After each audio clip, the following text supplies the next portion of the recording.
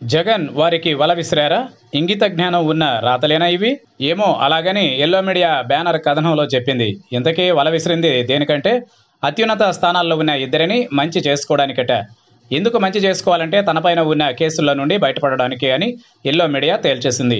ఇంతకీ విషయం ఏంటంటే మొన్నటి పన్నెండవ తేదీనే తిరుమల తిరుపతి దేవస్థానం పాలక మండలిని నియమించాల్సి ఉంది. అయితే చివరి నిమిషంలో ఆగిపోయింది. ఇంతకీ బోర్డు సభ్యుల నియామకం ఆగిపోయింది. ఎందుకంటే supreme court chief justice D Y Chandrachud CBI director Praveen Sood కోసమని ఎల్లో మీడియా చెప్పింది.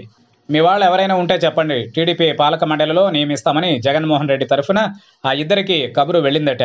అత్యున్నత స్థానాల్లో ఉన్న తాము ఇలాంటి అంశాలకు తావివ్వకూడదనే వాళ్ళు ఆ కబురును తిరస్కరించినట్లు ఎల్లో మీడియా చెప్పింది. దీనికి ఆధారం ఏమైనా ఉందా అంటే తాము రాసిందే ఆధారం అన్నట్లుగా ఉంది కథనం అంతా తనపైన సిబిఐ కేసులు వివేక మర్డర్ కేసులో నుండి బయటపడేందుకే జగన్పై ఇద్దరి మీద వల విసిరినట్లు ఎల్లో మీడియా చెప్పింది.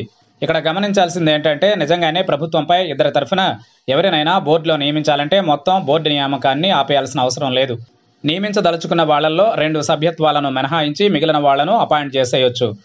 ఇక కేసులు అంటారా? సుప్రీంకోర్టు చీఫ్ జస్టిస్ అయినా సిబిఐ డైరెక్టర్ అయినా బోర్డులో సభ్యత్వాలను ఎరగా చూపిస్తే సరిపోయేంత చీప్ మెంటాలిటీతో ఉంటారని ఎవరు అనుకోరు. ఇలాంటి ప్రతిపాదనలు పంపించే ముందే ఆయా స్థానాల్లోని వ్యక్తుల నేపథ్యాన్ని తెలుసుకుంటారు.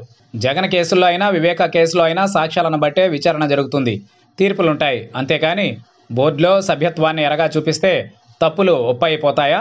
అక్రమార్జన కేసుల్లో జగన్కు వ్యతిరేకంగా ఒక్క కేసులో కూడా సాక్ష్యాలు లేవు. కాబట్టే ఒక్కో కేసును కోర్టులు కొట్టేస్తున్నాయి ఇక వివేక కేసులో ప్రతిపక్షాలు ఎల్లో మీడియా అనుకున్నట్లుగా కడప ఎంపీ అవినాష్ రెడ్డికి వ్యతిరేకంగా సాక్ష్యాలు ఏమీ దొరకలేదు. అందుకని హైకోర్టు అవినాష్కు ముందస్తు బెయిల్ మంజూరు చేసింది. వివేక కేసులో ప్రతిపక్షాలు ఎల్లో మీడియా టార్గెట్ జగనే కానీ అవినాష్ కాదు. సాక్ష్యాలుంటే తారుమారు చేయవచ్చు కానీ అసలు సాక్ష్యాలే లేకపోతే ఎవరైనా ఎలా పుట్టించగలరు? అవినాష్ విషయంలో గూగుల్ లేకౌట్ సాంకేతికత ఆధారంగా కేసు పెట్టి పొరపాటు చేసినట్లు సిబిఐ స్వయంగా అంగీకరించింది. కాబట్టి చీఫ్ జస్టిస్ సిబిఐ డైరెక్టర్ను మంచి చేసుకోవాల్సిన అవసరం జగన్కి ఏముందో ఎల్లో మీడియానే చెప్పాలి. అత్యంత నిజాయితీపరుడైన సుప్రీంకోర్టు చీఫ్ జస్టిస్ను ప్రలోభ పెట్టడానికి ఎవరైనా సాహసం చేస్తారా? ప్రధాని మోడీకే తలవంచని డివై చంద్రచూడ్ జగన్కు తలవంచుతారా? బురద జల్లుడు వార్తలు తప్ప ఏమాత్రం ఇంగిత జ్ఞానం ఉండేవాళ్ళు రాసే రాతలేనా ఇవి?